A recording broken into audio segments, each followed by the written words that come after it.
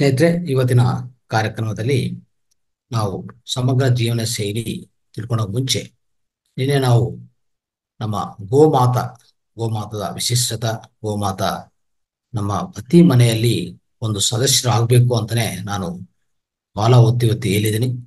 ಆದರೂ ಒಂದು ಚಿಕ್ಕ ಸಣ್ಣ ವಿಡಿಯೋ ನೋಡೋಣ.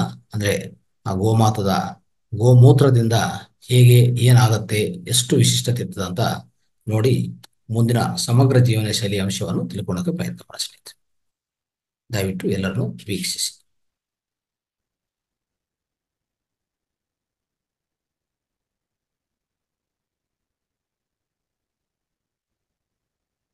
సార్ సుదర్శన్ ఫిగర్ సార్ ఇప్పుడు ప్రత్యక్షంగా గోమూత్ర ప్రభావం ఏముంటుందనేటువంటిది మనకు ప్రత్యక్షంగా చూపిస్తారు సార్ ఎందుకంటే అంటే దీన్ని నమ్మే వాళ్ళకి అన్ని తెలుస్తాయి కాబట్టి అంటే ఇక విశ్వాసం కదా ప్రధానంగా కావాల్సింది. ಇದು ತೆಲುಗಲ್ಲಿ ಇರುತ್ತೆ ದಯವಿಟ್ಟು ಅರ್ಥ ಮಾಡ್ಕೊಳ್ಳೋ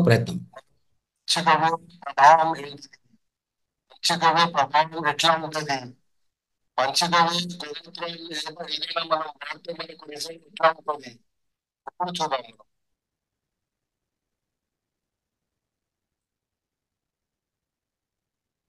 Yes.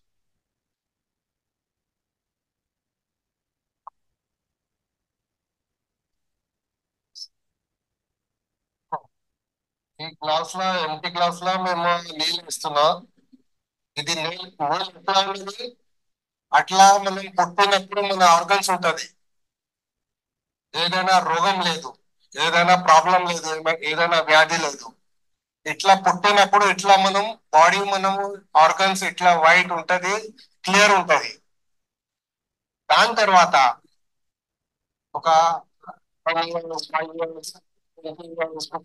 తర్వాత మనం కెమికల్ ఫర్టిలైజర్ అది వాడితే మన ఆర్గన్స్ మొత్తం ఖరాబ్ అవుతుంది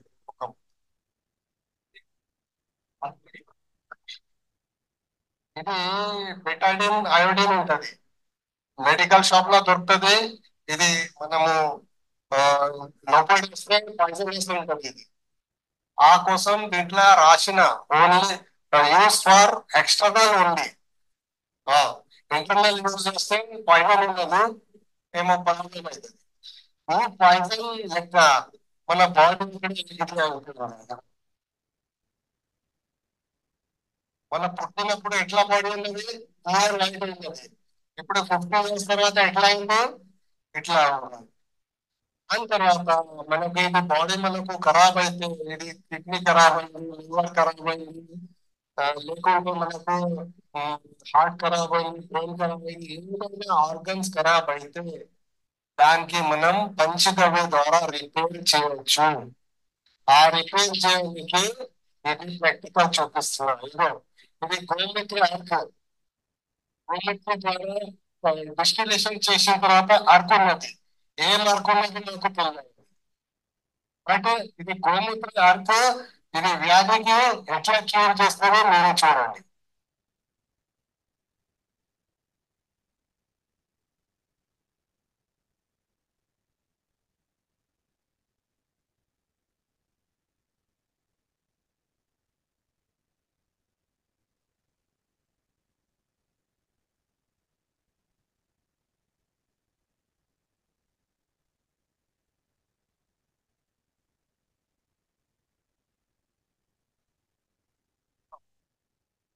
ఇంకా గోమూత్రం వేసిన మన బాడీ పుట్టినప్పుడు ఎట్లా ఉన్నది అట్లా అయిపోయింది. ఇట్లా మనం పంచుకొని యూజ్ చేస్తే మన లైఫ్ కూడా ఎక్స్టెండ్ అవుతుంది. ఆ కోసం ఆ కోసం మనకు పంచగవ్యల నమ్మకం చేసి మీరు ప్రప మన సమాజంలో మన ఊర్లో అందరికీ చెప్పాలి పంచగవ్య యూజ్ చెప్పాలి. వాళ్ళకి మంచి అయితే మీకు కూడా పుణ్యం వస్తుంది. ఇది పుణ్యం పని మీరు తయారు చేసి పంచుకొని సేవ్ చేస్తే మీకు పైసలు వస్తుంది ఆ పైసల ద్వారా మీరు ఆవుకి గడ్డి వేస్తే అది పుణ్యం. మీరు మనిషికి వ్యాధి తక్కువ అయితే అది పుణ్యం. అదే పుణ్యం మీకు పుణ్యం కలిపి మీకు మోక్షం అవుతుంది. జయ మాత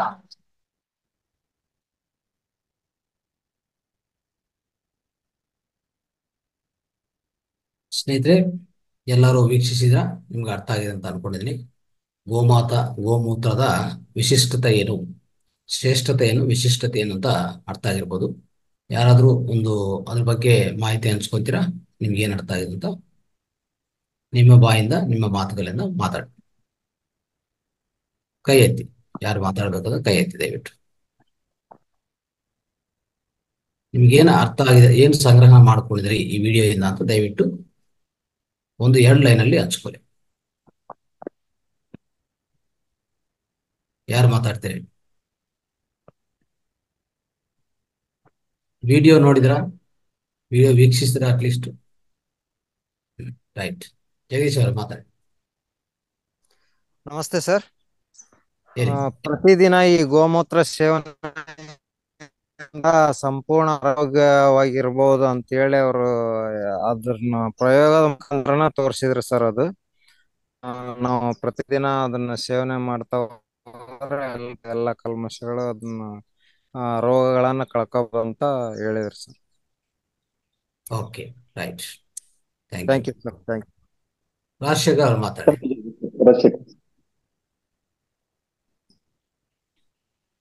ಸರ್ ನಮಸ್ತೆ. ನಮಸ್ತೆ. ಅದೇ ಸರ್ ಪ್ರತಿದಿನ ಗೋಮೂತ್ರ ಸೇವನೆ ಮಾಡಿದ್ರೆ ತುಂಬಾ ಒಳ್ಳೇದಾಗುತ್ತೆ. ಇನ್ನ ಏನಾದ್ರು ಪ್ರಾಬ್ಲಮ್ ಇದ್ರೆ ಆರೋಗ್ಯದ ಪ್ರಾಬ್ಲಮ್ ಇದ್ರೆ ಎಲ್ಲ ನಶಿಸುತ್ತೆ ಅಂತ ಹೇಳಿದ್ರು. ಆಮೇಲೆ ಗೋಮೂತ್ರದಲ್ಲಿ ಅವ್ರು ಪಾವಿಡ ಪಾವಿಡನ ಐಡನ್ ಹಾಕ್ತಾರಲ್ವಾ ಯಾವುದು ಹಲೋ ಪಾವಿಡನ ಐಡನ್ ಹಾಕ್ತಾರಲ್ವಾ ಅದು ಗಾಯಕಕ್ಕೆ ಮತ್ತೆ ಪಾವಿಡ ಪಾವಿಡನ ಐಡನ್ ಹಾಕ್ತಾರಲ್ವಾ ಸರ್ ಅದು? ಗೋಮೂತ್ರಕ್ಕೆ ಅದು ನೀವು ಕೇಳಿರೋದು ಸರಿಯಾಗಿ ಶಬ್ದ ಇದು ಮಾಡ್ತಾ ಆಗ್ತಾ ಇಲ್ಲ. ಹಾ ಅದು ಸರಿ ಏನೋ ಹಾಕಿದ್ರು ಒಳಗಡೆ ಅದು ಏನೋ ಜೊತೆಗೆ ಡಿಸಲ್ ಅದು ಅದೇನಂದ್ರೆ ಅವರು ಪ್ರಯೋಗ ತೋರ್ಸಕ್ಕೆ ಏನಾಗಿದೆ? ನಾರ್ಮಲ್ ಅಂದ್ರೆ ಸ್ವಚ್ಛ ಸ್ವಚ್ಛ ನೀರು ಫಸ್ಟ್ ತೋರಿಸಿದ್ರು. ಎರಡನೇದು ಆ ಸ್ವಚ್ಛ ನೀರಿಗೆ ಸ್ವಲ್ಪ ಪಾಯ್ಸನ್ ಪಾಯ್ಸನ್ ಅಂದ್ರೆ ಬಿಟಾಡೆನ್ ಅಂತ ಒಂದು ಅದರಲ್ಲಿ ಮಿಶ್ರವ ಮಾಡಿ ಆ ಬಿಟಾಡಿ ಬಿಟಾಡಿನ್ ಅಂತ ಅದು ಒಂದು ಪಾಯ್ಸನ್ ಅದು ಮಿಶ್ರವ ಮಾಡುದು ಯಾಕಂದ್ರೆ ಇಂಥ ಪಾಯ್ಸನ್ ನಾವು ಪ್ರತಿಯೊಂದು ದಿವಸ ತಿಂತಾ ಇದೀವಿ. ನಮ್ಮ ಕೆಮಿಕಲ್ ಕೆಮಿಕಲ್ ಅಂದ್ರೆ ಕೆಮಿಕಲ್ ಆಹಾರ. ಕೆಮಿಕಲ್ ಈ ಪೆಸ್ಟಿಸೈಡ್ಸ್ ಆಗಿರುವಂತ ಆಹಾರ ನಾವು ಸೇವನೆ ಮಾಡೋದು ಪ್ರತಿ ದಿವಸ. ರಾಸಾಯನಿಕ ರಾಸಾಯನಿಕ ರಾಸಾಯನಿಕ ಆಹಾರನ ಸೇವನೆ ಮಾಡ್ತಾ ಇದ್ವಿ ಪ್ರತಿ ದಿವಸ. ಅದೊಂದೇ ಅಲ್ಲ ನಾವು ತಿನ್ನುವಂತ ಈ ಪ್ರತಿ ಪದಾರ್ಥದಲ್ಲಿ ರಾಸಾಯನಿಕಲಿದೆ ಅಂತದೆಲ್ಲ ತಿನ್ನುವಾಗ ಏನಾಗುತ್ತೆ ಈ ಬೆಟಾಡಿನ್ ಆಡ್ ಮಾಡುವಾಗ ಆ ಕಲರ್ ಪೂರ್ತಿ ಕಪ್ಪದಾಗಿದೆ ನೋಡಿ. ಪೂರ್ತಿ ಯಾವ ತರ ಆಯ್ತು ಬ್ಲಾಕ್ ಕಲರ್ ಇಲ್ಲ ಆ ತರ ನಮ್ಮ ಒಳಗಡೆ ಅವಯವಗಳು ಆ ಆ ಬಣ್ಣದಲ್ಲಿ ಆಗಿರ್ತದೆ. ಅಂತ ಕಪ್ಪದಾಗ ಎಲ್ಲ ಆಗಿರ್ತದೆ. ಅದನ್ನ ಮತ್ತೆ ಸ್ವಚ್ಛಗೊಳಿಸ್ಬೇಕಂದ್ರೆ ಕೊನೆಯದಾಗಿ ಒಂದು ಒಂದು ಕಪ್ಪು ಏನ್ ಮಾಡಿದ್ರು ಗೋಮೂತ್ರವನ್ನು ಗೋ ಆರ್ಕವನ್ನು ಸೇರಿಸಿದ್ರು. ಅವಾಗ ಮತ್ತೆ ಸ್ವಚ್ಛಗೊಳಿಸ್ಕೊಂಡಿದೆ sir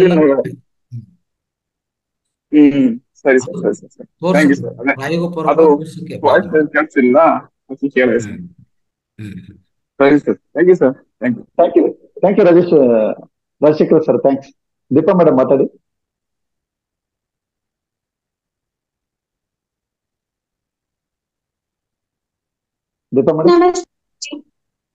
ಈಗ ಹಸುಗಳು ವಿಶ್ವದ ಗೋಮಾತೆ ಅಂತ ಹೇಳಿದ್ರು ಗುರುಜಿ ಅವರು. ಮತ್ತೆ ಹಸುವಿನ ಒಂದು ಪಂಚಗವ್ಯ ಅಂತಂದ್ರೆ ಅದು ಒಂದು ಶ್ರೇಷ್ಠವಾದ ಒಂದು, ಆ, ಇದು ಒಂದು ಮೆಡಿಸಿನ್ ಇರೋ ಒಂದು ಸಿರಪ್ ತರ ಅಂತ ಹೇಳಿದ್ರು. ಆಮೇಲೆ ಅದ್ರಲ್ಲಿ ಔಷಧೀಯ ಗುಣ ತುಂಬಾನೇ ಇದೆ. ಅದನ್ನ ಸೇವಿಸೋದ್ರಿಂದ ನಮ್ಮಲ್ಲಿರೋ ಎಷ್ಟೋ ಒಂದು ಅನಾರೋಗ್ಯ ಸಹ ಕಡಿಮೆ ಆಗುತ್ತೆ ಅಂತ ಹೇಳಿದ್ರು ಗುರುಜಿ. ಅಷ್ಟು ನನ್ಗೆ ಅವ್ರು ಒಂದ್ ಮೂಮೆಂಟ್ ಅಲ್ಲಿ ಅರ್ಥ ಮಾಡ್ಕೊಂಡೆ. ನಂಗೆ ತೆಲುಗು ಬರಲ್ಲ ಬಟ್ ಅಷ್ಟು ಅರ್ಥ ಮಾಡ್ಕೊಂಡೆ ನಾನು ತೆಲುಗು ನೀವು ಕಲಿತೀರ ಅಂತ ಹೇಳಿದ್ರೆ ಇನ್ನೂ ಕಲಿಲ್ಲ ಕಲಿತಾ ಇದ್ದೀನಿ ಗುರುಜಿ. ಅಂದ್ರೆ ತುಂಬಾ ಸ್ಪೀಡ್ ಮಾತಾಡಿದ್ರೆ ನಂಗೆ ಅರ್ಥ ಆಗಲ್ಲ. ಸ್ವಲ್ಪ ಸ್ವಲ್ಪ ಈಗ ನೋಡಿ ಭಾವನಾರ ಅಂತ ಗೊತ್ತಾಯ್ತು. ಅಂತ ಅದು ಎಲ್ಲ ಸ್ವಲ್ಪ ಅರ್ಥ ಆಗಿದೆ. ರೈಟ್ ರೈಟ್ ಪ್ರತಿದಿನ ಮಾತಾಡ್ಬೇಕು. ಯಾರನ್ನ ಸಿಕ್ಕಿದ್ರೆ ನಿಮ್ಗೆ ಅವ್ರ ಜೊತೆಗೆ ಮಾತಾಡ್ತಾ ಇದ್ರೆ ಬೇಗ ಬರುತ್ತೆ. ಏನ್ ಚೇಸ್ತುನಾರು ಅದೆಲ್ಲ ಸ್ವಲ್ಪ ಸ್ವಲ್ಪ ನಿಮ್ಮ ಸುತ್ತಮುತ್ತ ಯಾರನ್ನ ತೆಲುಗವ್ರಿದ್ರೆ ಅವ್ರ ಜೊತೆ ಮಾತಾಡ್ತಾ ಇದ್ರೆ ಬೇಗ ಬರುತ್ತೆ ನಾನು ಸುಮ್ನೆ ಹೀಗೆ ಯೂಟ್ಯೂಬ್ ಅಲ್ಲಿ ನೋಡ್ತಾ ಇರ್ತೀನಿ ಅಷ್ಟೇನೆ. ಇಲ್ಲಿ ನನ್ ಸುತ್ತಮುತ್ತ ಯಾರು ಫ್ರೆಂಡ್ಸ್ ಇಲ್ಲ. ಹ್ಮ್. ಅಲ್ಲಿ ಚಿತ್ರದುರ್ಗ ಚಿತ್ರದುರ್ಗದ ತೆಲುಗು ತುಂಬಾ ಬ್ಯೂಟಿಫುಲ್ ಆಗಿರುತ್ತೆ ಸರ್. ಅಲ್ಲಿ ಏನಂತಂದ್ರೆ ಎಲ್ಲದಕ್ಕೂ ಮೂ ಸೇರಿಸ್ಬಿಡ್ತಾರೆ ಸರ್. ಅನ್ಮು ಮುದ್ಮು ಸಾರ್ಮು ಅಂತ ಹೇಳ್ಬಿಟ್ಟು ಮೂ ಸೇರಿಸ್ಬಿಡ್ತಾರೆ. ಪ್ರತಿಯೊಂದು ಸಹ okay right okay Nanda Nanda madam ಮತ್ತೆ.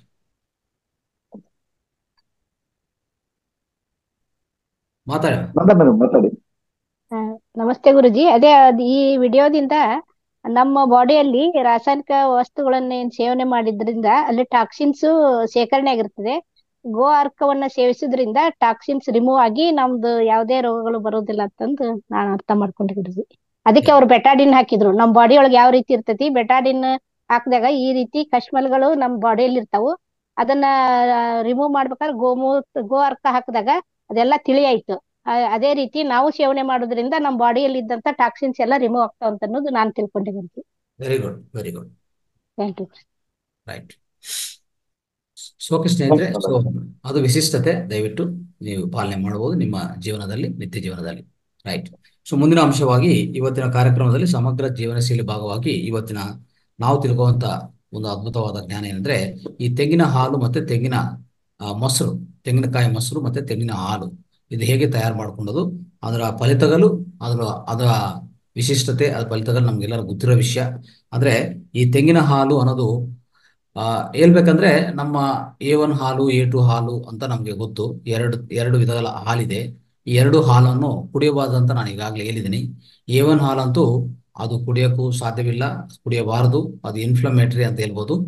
ಅದು ಹೆಚ್ಚಾಗಿ ಅದ್ರ ಒಳಗಡೆ ಅದು ಯಾವುದೇ ರೀತಿಯಲ್ಲಿ ಇತ್ತೀಚಿನ ಕಾಲದಲ್ಲಿ ಹೆಚ್ಚು ಲಭ್ಯವಾಗ್ತಾ ಇರೋದು ಏವನ್ ಹಾಲೆ ನಮ್ಮ ಸಮಾಜದಲ್ಲಿ.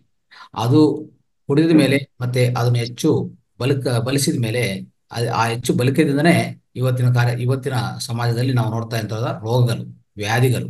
ಹೇಳ್ಬೇಕಂದ್ರೆ ಚಿಕ್ಕ ಮಕ್ಕಳಿಗೆ ಹೆಣ್ಮಕ್ಳು, ಗಂಡ್ಮಕ್ಳಿಗೆ ಏನಾಗ್ತಾ ಇದೆ, ಅವ್ರ ಒಳಗಡೆ ಹೆಚ್ಚು ಸಮಸ್ಯೆಗಳು ಕಾಣ, ಕಾಣಿಸ್ತಾ ಇದೆ ಸ್ನೇಹಿತರೆ. ಯಾಕಂದ್ರೆ ಈ ಎ ಒನ್ ಹಾಲು ಸೇವನೆ ಮಾಡಿದಕ್ಕೆ ಕಾರಣ ಏನಂದ್ರೆ ಅದು ಏನ್ ಮಾಡತ್ತಂದ್ರೆ ಯಾವುದೇ ಹೆಣ್ಮಗಳಾದ್ರೂ ಗಂಡ್ಮಗ್ಳಾಗೋದು ಚಿಕ್ಕ ಮಕ್ಕಳಲ್ಲಿ ಮಾಡ್ತಾ ಇರೋಂಥ ಒಂದು ಕೆಟ್ಟದ ಫಲಿತ ಏನಪ್ಪಾ ಅಂತಂದ್ರೆ ಹಾರ್ಮೋನಲ್ ಅಸಮತೋಲ ಅಸಮತ ಅಸಮೋಲತೆ ಇದೆ. ಅಂದ್ರೆ ಹಾರ್ಮೋನ್ ಇಂಬ್ಯಾಲೆನ್ಸ್ ಆಗ್ತದೆ. ಈ ಹಾರ್ಮೋನಲ್ ಅಸ ಹಾರ್ಮೋ ಹಾರ್ಮೋನ್ಗಳ ಅಸಮತೋಲ್ಯದಿಂದ ಬರುವಂತ ಸಮಸ್ಯೆಗಳು, ಆ, ಕೆಟ್ಟೆ ಅನಾರೋಗ್ಯ ವಿಷಯಗಳು ತುಂಬಾ ಹೆಚ್ಚಾಗಿದೆ ಸ್ನೇಹಿತರೆ. ಇತ್ತೀಚಿನ ಕಾಲದಲ್ಲಿ ಸಣ್ಣ ಹೆಣ್ಮಕ್ಳು ಒಂದು ಎಂಟು ವರ್ಷ, ಒಂಬತ್ತು ವರ್ಷಕ್ಕೆ ಅವರು ಮೆಚೂರ್ ಆಗ್ತಾ ಇದ್ದಾರೆ. ಹೇಳ್ಬೇಕಂದ್ರೆ ಅವರು ಋತುಸ್ರ ಋತುಚಕ್ರ ಋತುಚಕ್ರ ಶುರು ಆಗ್ತಾ ಇದೆ.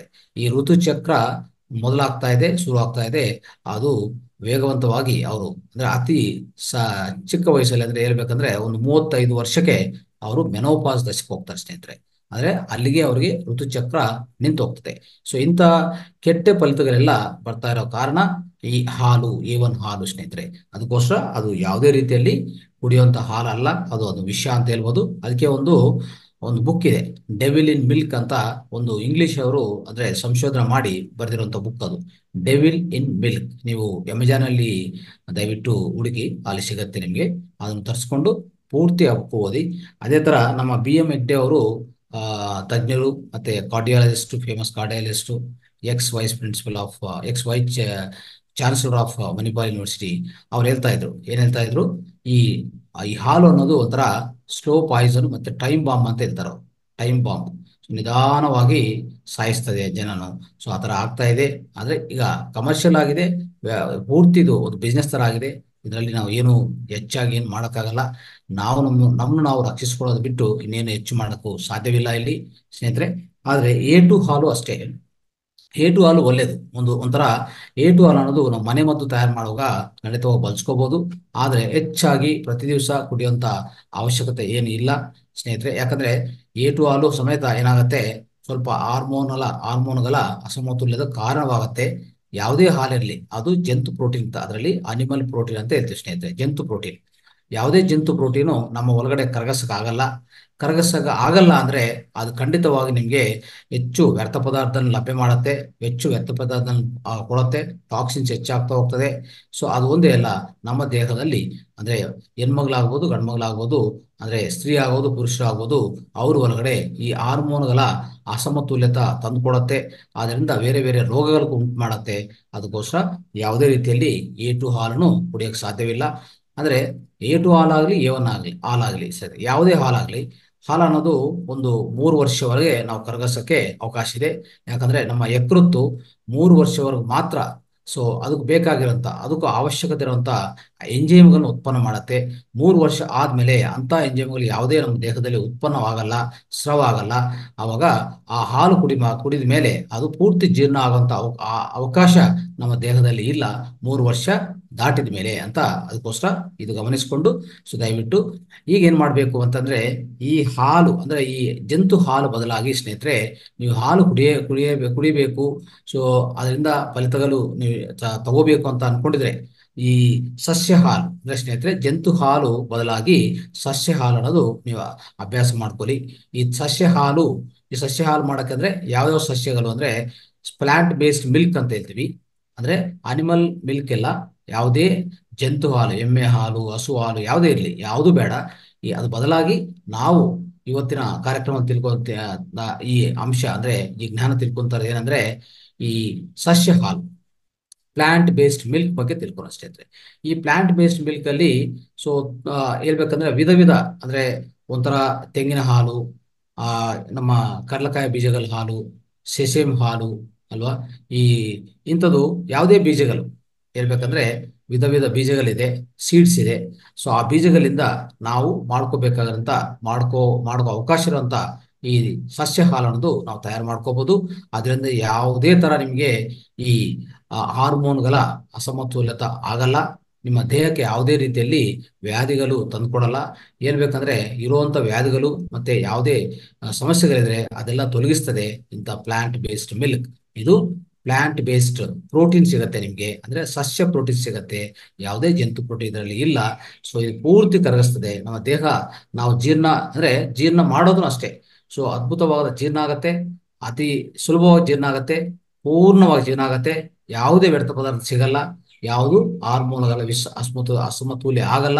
ಸೊ ಅದಕ್ಕೋಸ್ಕರ ಈ ಸಸ್ಯ ಹಾಲಿಗೆ ಅಷ್ಟು ಪ್ರಾಧಾನ್ಯತೆ ಇದೆ. ಇವತ್ತಿನ ಕಾರ್ಯಕ್ರಮದಲ್ಲಿ ವಿಶಿಷ್ಟವಾಗಿ ನಾವು ತಿಳ್ಕೊಂಡ, ತಿಳ್ಕೊಂತ ಇರುವಂತ ಆ, ಈ ಹಾಲು, ಸಸ್ಯ ಹಾಲು ಯಾವ್ದಪ್ಪ ಅಂದ್ರೆ ತೆಂಗಿನ ಹಾಲು ಹೇಗೆ ತಯಾರು ಮಾಡೋದು ಅಂತ ತಿಳ್ಕೊಂಡ ಸ್ನೇಹಿತರೆ. ತೆಂಗಿನ ಹಾಲು ತಯಾರಿಸಿಗೆ ಕೆಳಗಿನ ಹಂತಗಳನ್ನು ನೀವು ಖಂಡಿತವಾಗಿ ಅನುಸರಿಸಬೇಕಾಗತ್ತೆ. ಏನಂತಂದ್ರೆ, ಒಂದೊಂದು ನಾನು ಹೇಳ್ತಾ ಹೋಗ್ತೀನಿ, ಯಾವ ತರ ತಯಾರು ಮಾಡ್ಕೋಬಹುದು ಅಂತ. ಸೊ, ನೀವು ಮನೆಯಲ್ಲಿ ತಯಾರು ಮಾಡ್ಕೊಳಕ್ಕೆ ಪ್ರಯತ್ನ ಮಾಡಿ, ಪ್ರತಿಯೊಂದು ದಿವಸ ತಯಾರು ಮಾಡ್ಕೊಳ್ಳಿ. ನೀವು ನೀವು ಕುಡಿಬಹುದು ನಿಮ್ಮ ಮಕ್ಕಳು ಕೊಡ್ಬೋದು, ಎಲ್ಲರೂ ಇಡೀ ಮನೆ ಪ್ರತಿಯೊಬ್ಬರು ಕುಡಿಯೋಕ್ಕೆ ಸಾಧ್ಯವಿದೆ. ಯಾವುದೇ ಅದರಲ್ಲಿ ಒಂಥರ ಷರತ್ತುಗಳು ಕಂಡೀಷನ್ಸ್ ಯಾವುದು ಇಲ್ಲ ಸ್ನೇಹಿತರೆ. ಈಗ ಮೊದಲನೇ ಮೊದಲನೇ ಹಂತ, ಮೊದಲನೇ ಸ್ಟೆಪ್ ಏನ್ ಮಾಡ್ಬೇಕಂದ್ರೆ, ಒಂದು ಕಪ್ಪು ತಾಜಾ ತೆಂಗಿನಕಾಯ ಚೂರುಗಳು ತಗೊಳ್ಳಿ ಸ್ಲೈಸಸ್ ಓಕೆ ಈ ನಾರಿಯಲ್ ಗಿರಿ ಅಂತ ಹೇಳ್ತೀವಿ. ಅದನ್ನು ಅಂದ್ರೆ ಈ ತೆಂಗಿನಕಾಯ ಏನ್ ಮಾಡಬೇಕು? ತಾಜಾ ತೆಂಗಿನಕಾಯನ್ನು ಸ್ಲೈಸಸ್ ಮಾಡ್ಕೊಳ್ಳಿ. ಚಿಕ್ಕ ಚಿಕ್ಕ ಪೀಸ್ಗಳು ಮಾಡ್ಕೊಳ್ಳಿ. ಮತ್ತು ಎರಡು ಕಪ್ಪು ಕುಡಿಯೋ ನೀರನ್ನು ಮೆಜರ್ ಮಾಡಿಕೊಂಡು ಪಕ್ಕ ಇಟ್ಕೊಳ್ಳಿ. ಅಂದ್ರೆ ಎರಡು ಕಪ್ ನೀರಾಯ್ತು, ಒಂದು ಕಪ್ಪು ತಾಜಾ ತೆಂಗಿನಕಾಯ ಚೂರುಗಳಾಯ್ತು. ಅಂದ್ರೆ ಸ್ಲೈಸಸ್ ಈ ಎರಡು ಎರಡು ಏನ್ ಮಾಡ್ತಂದ್ರೆ ಅಂದ್ರೆ, ಈ ತೆಂಗಿನಕಾಯ ಮತ್ತು ನೀರನ್ನು ಬ್ಲೆಂಡ್ನಲ್ಲಿ ಬ್ಲೆಂಡ್ನಲ್ಲಿ ಬ್ಲೆಂಡ್ನಲ್ಲಿ ಅಂದ್ರೆ ಮಿಕ್ಸರ್ ಅಲ್ಲಿ ಹಾಕಿ. ಮಿಕ್ಸರ್ ಅಲ್ಲಿ ಇರಿಸಿ. ಇರಿಸಿದ ಮೇಲೆ ಸೊ ಅಲ್ಲೇನು ಮಾಡಬೇಕು? ಅದು ಮೆತ್ತವಾಗಿ, ಅಂದ್ರೆ ಒಂಥರ ಸ್ಮೂತ್ ಆಗಿ ತಯಾರವರೆಗೂ ಸೊ ಚೆನ್ನಾಗಿ ಏನು ಮಾಡ್ಬೇಕಾಗತ್ತೆ? ಬ್ಲೆಂಡ್ ಮಾಡ್ಬೇಕಾಗತ್ತೆ. ಅಂದ್ರೆ ಮಿಕ್ಸರಲ್ಲಿ ಹಾಕಿ ಬ್ಲೆಂಡ್ ಮಾಡಿ. ಬ್ಲೆಂಡ್ ಮಾಡಿದ ಮೇಲೆ ಸೊ ಖಂಡಿತವಾಗಿ ಏನಾಗುತ್ತೆ? ಈ, ಅಂದ್ರೆ ಈ ಮಿಶ್ರಣ ಹೇಗಾಯಿತು ಸ್ಮೂತ್ ಆಯ್ತು. ಈ ಪ್ರಕ್ರಿಯೆ ಎಲ್ಲಾಗೂ ಒಂದು ನಿಮಿಷ ಸಾಕು ಅಷ್ಟೇ. ಜಾಸ್ತಿ ಆಗಲ್ಲ. ಅಂದ್ರೆ ಸ್ಮೂತ್ ಆಗೋವರೆಗೂ ಪೇಸ್ಟ್ ಆಗೋತ್ರ ಪೇಸ್ಟ್ ತರ ಆಗ್ತದೆ ನೋಡಿ. ಅದುವರೆಗೂ ಮಾಡಿದ್ರೆ ಅದು ಒಂದು ನಿಮಿಷ ಕಾಲ ಅಷ್ಟೇ ಆಗೋದು.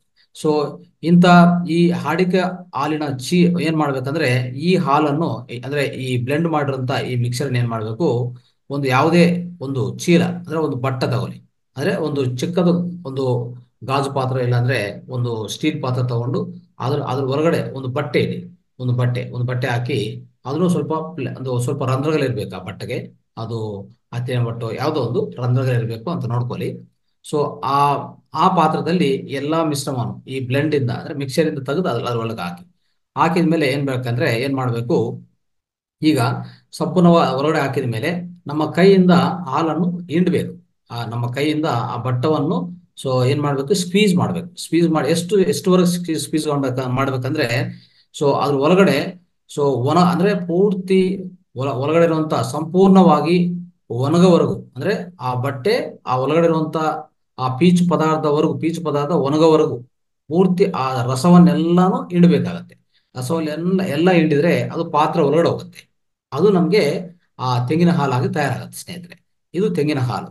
ಈ ತೆಂಗಿನ ಹಾಲನ್ನು ತಕ್ಷಣವೇ ನೀವು ಬಳಸ್ಕೋಬಹುದು ಏನ್ ತೊಂದರೆ ಇಲ್ಲ. ಅಥವಾ ಫ್ರಿಡ್ಜ್ ಅಲ್ಲಿ ಬೇಕಂದ್ರೆ ಒಂದರಿಂದ ಎರಡು ದಿವಸ ಇಟ್ಕೋಬಹುದು ಇಟ್ಕೊಂಡು ಮತ್ತೆ ನೀವು ಸಂಗ್ರಹ ಮಾಡ್ಕೋಬಹುದಾಗತ್ತೆ ಸೊ ಈ ತರ ತಯಾರು ಮಾಡ್ಕೊಳ್ಳಿ ಸ್ನೇಹಿತರೆ. ಯಾವುದು? ತೆಂಗಿನ ಹಾಲು ಅಂತ ಅರ್ಥ ಮಾಡ್ಕೊಳ್ಳಿ. ಸ್ನೇಹಿತರೆ, ಆಮೇಲೆ ಬಾದಾಮಿ ಹಾಲು. ಬಾದಾಮಿ ಹಾಲು ಅಷ್ಟೇ. ಸೊ ಇದೇ ತರ ತಯಾರು ಮಾಡ್ಕೋಬಹುದು ಅದು ಒಂದು ಹಾಫ್ ಕಪ್ಪು ಅರ್ಧ ಕಪ್ಪು ಬಾದಾಮಿ, ಕನಿಷ್ಠ ಆರು ಗಂಟೆ ಕಾಲ ಅಥವಾ ರಾತ್ರಿ ನೀರಲ್ಲಿ ನೆನೆಸ್ಬೇಕಾಗತ್ತೆ. ನೆನೆಸಿದ ಮೇಲೆ ಎರಡು ಕಪ್ಪು ನೀರು, ಎರಡು ಕಪ್ಪು ನೀರು ಅನ್ವಯಿಸಿಕೊಂಡು ಇದೇ ತರ ಒಂದು, ಇದೇ ತರ ಪದ, ಇದೇ ಪದ, ಇದೇ ಪದ್ಧತಿಯಲ್ಲಿ ನೀವು ಈ ಬಾದಾಮಿ ಹಾಲನ್ನು ತಯಾರು ಮಾಡ್ಕೋಬಹುದು ಅದು ಕುಡಿಯಬಹುದು ಅಂತ ಹೇಳ್ತಾ ಈ ತೆಂಗಿನ ಹಾಲು ಈ ತರ ತಯಾರು ಮಾಡಿಕೊಂಡು ನೀವು ಸೇವನೆ ಮಾಡಿದ್ರೆ ಅದ್ಭುತವಾದ ಫಲಿತಗಳು ನಿಮಗೆ ಸಿಗತ್ತೆ ಸ್ನೇಹಿತರೆ. ಸೊ ಅದರಲ್ಲಿ ಏನು ಸಂಶಯ ಇಲ್ಲ ಸ್ನೇಹಿತರೆ.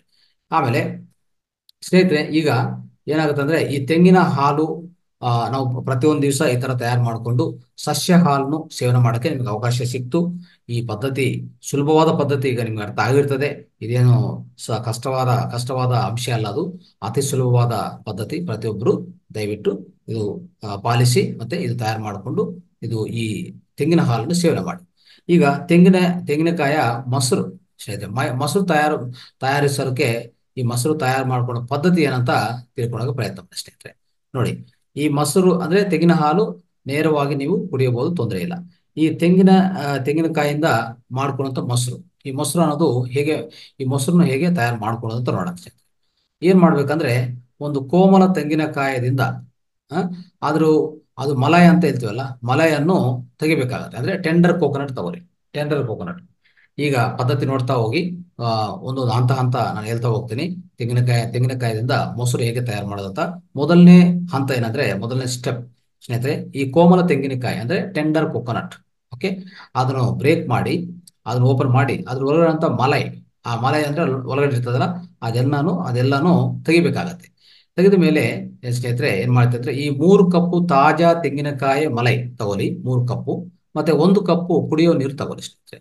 ಈ ಎರಡು ತಗೊಂಡು ಪಕ್ಕದ ಇಟ್ಕೊಂಡು ಈ ತೆಂಗಿನ ಮಲೈ ಮತ್ತು ನೀರನ್ನು ಈ ಬ್ಲೆಂಡ್ ಅಲ್ಲಿ ಹಾಕಿ ಬ್ಲೆಂಡ್ ಅಂದ್ರೆ ಮಿಕ್ಸರ್ ಅಲ್ಲಿ ಹಾಕಿ. ಮಿಕ್ಸರ್ ಅಲ್ಲಿ ಇರಿಸಿ ಅದನ್ನು ಮೆತ್ತವಾಗಿ ಸ್ಮೂತ್ ಆಗವರೆಗೂ ತಯಾರಾಗುವವರೆಗೂ ಬ್ಲೆಂಡ್ ಮಾಡಿ. ಅಂದ್ರೆ ಮಿಕ್ಸರ್ ಅಂದ್ರೆ ಮಿಕ್ಸರ್ ಅಲ್ಲಿ ಹಾಕಿ ಮಿಕ್ಸಿ ಅಂತ ಹೇಳ್ತೇವಲ್ಲ, ನಮ್ಮ ಮಿಕ್ಸಿಯಲ್ಲಿ. ಮಿಕ್ಸಿಯಲ್ಲಿ ಹಾಕಿ ಚೆನ್ನಾಗಿ ಬೆರೆಸಿ ಬ್ಲೆಂಡ್ ಹಾಕಿ ಬ್ಲೆಂಡ್ ಮಾಡಿ. ಬ್ಲೆಂಡ್ ಮಾಡಿದ್ರೆ ಈ ಮಿಶ್ರವನ್ನು ಕ್ಲೀನ್ ಬೌಲ್ಗೆ ಸೇರಿಸ್ಕೊಳ್ಳಿ. ಎಲ್ಲ ಅಂದ್ರೆ ಮಿಕ್ಸಿಯಿಂದ ತೆಗೆದು ಒಂದು ಕ್ಲೀನ್ ಬೌಲ್ ಕ್ಲೀನ್ ಬೌಲ್ ಅಂದ್ರೆ ಒಂದು ಗಾಜು ಗಾಜು ಬೌಲ್ ಆಗ್ಬೋದು, ಇಲ್ಲಾಂದ್ರೆ ಒಂದು ಹೇಳ್ಬೇಕಂದ್ರೆ ವಿಶಿಷ್ಟವಾಗಿ ಒಂದು ಸ್ಟೀಲ್ ಬೌಲ್ ತಗೊಳ್ಳಿ. ಒಳ್ಳೆಯದು ಸ್ಟೀಲ್ ಬೌಲಲ್ಲಿ ಒಂದು ಸ್ಟೀಲ್ ಪಾತ್ರದಲ್ಲಿ ಸೇರಿಸ್ಕೊಳ್ಳಿ. ಸೇರಿಸ್ಕೊಂಡಿದ ಮೇಲೆ ಸ್ನೇಹಿತರೆ, ಏನ್ ಮಾಡ್ಬೇಕಂದ್ರೆ ಇದನ್ನು ಯಾವುದೇ ಒಂದು ಸ್ಟೀಲ್ ಬೌಲ್ ಆಗಿದ ಮೇಲೆ ಈ ಮಿಶ್ರಣವನ್ನು ಏನ್ ಮಾಡೋದಂದ್ರೆ ಒಂದು ಅದ್ರ ಮೇಲೆ ಟಾಪ್ ಅಪ್ ಟಾಪ್ ಅಪ್ ಆಗಿ ಎಂಟು ಮೆಣಸಿನಕಾಯಿ ನೋಡಿ. ಈಗ ಒಂದು ಸ್ಟೀಲ್ ಬೌಲ್ ಅಲ್ಲಿ ಸೇರಿಸಿದ್ವಿ. ಎಲ್ಲ ಮಿಶ್ರವನ್ನು ಮಿಕ್ಸಿಯಿಂದ ತೆಗೆದು ಇಲ್ಲಿ ಹಾಕಿದ್ವಿ. ಈಗ ಹಾಕಿದ ಮೇಲೆ ಒಂದು ಎಂಟು ಎನಿಸಿ ಮೆಣಸಿನಕಾಯಿ, ಹಸಿ ಮೆಣಸಿನಕಾಯಿ ಇದೆಲ್ಲ ಹಸಿ ಮೆಣಸಿನಕಾಯಿ ಅದು ಮೇಲ್ಭಾಗದಲ್ಲಿ ಇರಿಸಬೇಕಾಗತ್ತೆ ಸ್ನೇಹಿತರೆ. ಇರಿಸಿದ ಮೇಲೆ ಇದನ್ನು ಅದ್ರ ಮೇಲೆ ಮೇಲೆ ಪ್ಲೇಟ್ ಕವರ್ ಮಾಡಿ. ಮೇಲೆ ಪ್ಲೇಟ್ ಹಾಕಿ ಇದನ್ನ ಎಲ್ಲಿಡ್ಬೇಕಂದ್ರೆ ಈ ಬೌಲನ್ನು ಎಲ್ಲಿ ಬೇಕಂದ್ರೆ ಸ್ವಲ್ಪ ವಾರ್ಮ್ ಆಗಿರ್ಬೇಕು ಕೋಲ್ಡ್ ಆಗಿರಬಾರ್ದು. ವಾತಾವರಣ. ಅಂತ ಪ್ರದೇಶದಲ್ಲಿ ಇಡಬೇಕಾಗತ್ತೆ. ಎಲ್ಲಿರ್ಬೋದು? ಯಾವುದೇ ಒಂದು ಬಾಲ್ಕಾನಿಯಲ್ಲಿ, ಬಾಲ್ಕಾನಿ ಇಲ್ಲ ಅಂದ್ರೆ ಈ ನಮ್ಮ ಈ ಯಾವುದು ಓವನ್ ಇರ್ತದಲ್ಲ, ಮೈಕ್ರೋ ಓವನ್ ಮೈಕ್ರೋ ಓವನ್ ಒಳಗಡೆ ಇರ್ಬೋದು. ಅಲ್ಲಿ ಅಂದ್ರೆ ಸ್ವಲ್ಪ ವಾಮ್ ಆಗಿದ್ರೆ ಬೇಗವಂತವಾಗಿ ಇದು ತಯಾರಾಗತ್ತೆ. ಯಾವುದು? ಮೊಸರು ತಯಾರಾಗುತ್ತೆ ಸ್ನೇಹಿತರೆ. ಇದನ್ನು ಎಂಟು ಗಂಟೆ ಕಾಲ ಹುದುಗಿಸಲಿಕ್ಕೆ ನಾವು ಅನುಮತಿಸಬೇಕಾಗತ್ತೆ. ಹಾಗೆ ಬಿಡಬೇಕಾಗತ್ತೆ. ಅದು ಯಾವುದೇ ರೀತಿಯಲ್ಲಿ ನಾನು ಟಚ್ ಮಾಡಬಾರ್ದು. ಡಿಸ್ಟರ್ಬ್ ಮಾಡಬಾರ್ದು ಸ್ನೇಹಿತರೆ.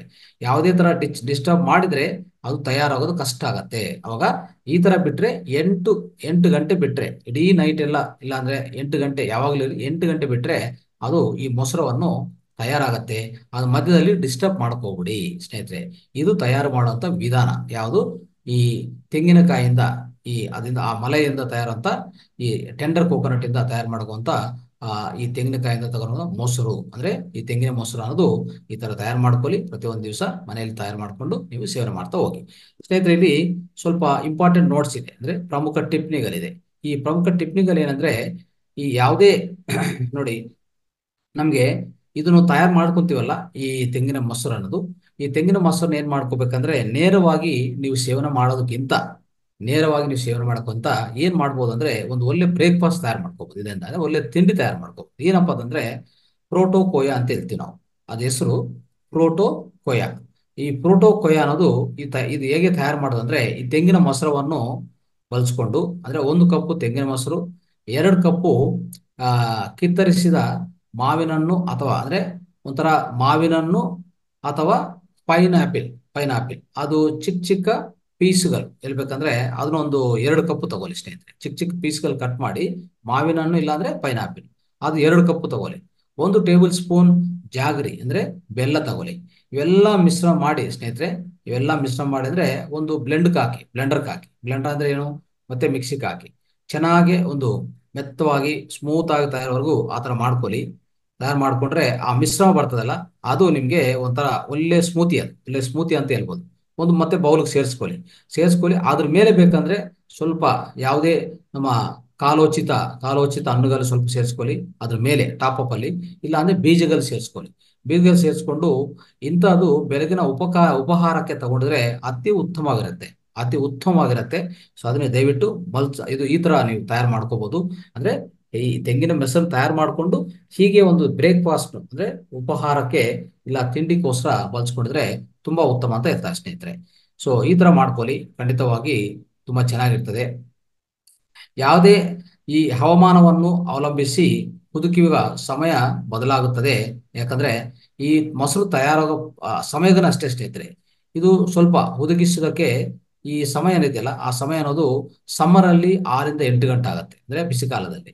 ಈ ಮೊಸರು ತಯಾರಾಗಕ್ಕೆ ನಾನು ಹೇಳ್ತಾ ಇದ್ದೀನಿ. ಇದು ಗಮನಿಸ್ಕೊಳ್ಳಿ. ಈ ಪಾಯಿಂಟ್ ಒಂದು. ಇದು ಗಮನಕ್ಕೆ ಸೊ ಒಂದು ಹೇಳ್ಬೇಕಂದ್ರೆ ಟಿಪ್ನಿ. ಸೊ ಇನ್ನೊಂದು ಏನಂದ್ರೆ ಚಳಿ ಚಳಿಗಾಲದಲ್ಲಿ, ಅಂದ್ರೆ ಒಂಥರ ಚಳಿಗಾಲ ಇದ್ರೆ ಅಲ್ಲಿ ಎನ್ ಎಂಟಿಂದ ಹತ್ತು ಗಂಟೆ ಕಾಲ ಆಗುತ್ತೆ. ಇದು ನಿಮ್ಗೆ ಗಮನಕ್ಕೋಸ್ಕರ ಹೇಳ್ತಾ ಇದ್ವಿ ನೆನಪಿಗೋಸ್ಕರ, ನೆನಪಿಟ್ಕೊಳ್ಳಿ.